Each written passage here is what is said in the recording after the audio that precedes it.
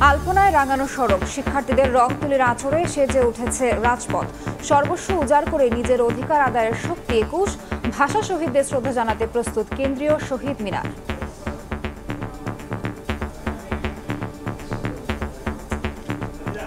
দেশের সংস্কৃতিকে ধরে রাখার জন্য শিখানোর জন্য একুশে ফেব্রুয়ারি দিনটাতে উদযাপন করার জন্য এসেছি। ঐতিহাসিক ঘটনার যে একটা প্রেক্ষাপট সেসব তুলে ধরবার জন্য আমরা কিন্তু আমি গর্ববোধ করছি। আমেরিকাও থাকল যে বাংলার এই হচ্ছে আরও ভালো লাগে আমার।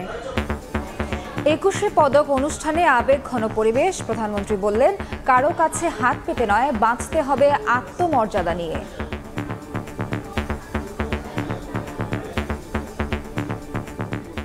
মাঝে জ্ঞানের আলো বিকিরণ করবার জন্য, জ্ঞানের সুযোগ পাওয়ার জন্য তিনি পাঠাগার তৈরি করেন।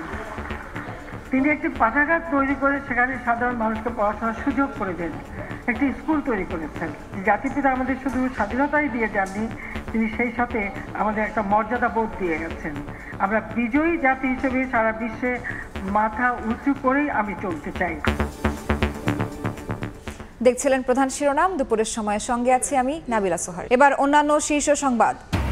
রমজান সামনে রেখে সয়াবিন তেলের দাম লিটারে কমলো দশ টাকা। বোতলজাত সয়াবিন একশো তেতাল্লিশ টাকা নির্ধারণ। নিয়ন্ত্রণহীন পেঁয়াজের বাজার। উৎপাদনে ঘাটতি না থাকলেও আমদানি নির্ভর।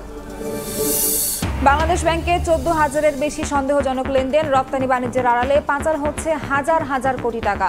দাবি বিএফআইইউ প্রধানের। বললেন, টাকা ফিরিয়ে আনা কঠিন। নওগাঁয় প্রক্সিকান্ত সর্বতুল্লা মাদ্রাসায় উনষাট দাখিল পরীক্ষার্থী ভুয়া। আটকের পর ছেড়ে দেওয়া হলো কেন্দ্র সচিবকে, জড়িতদের আনা হবে আইনের আওতায়, জানালেন ইউএনও।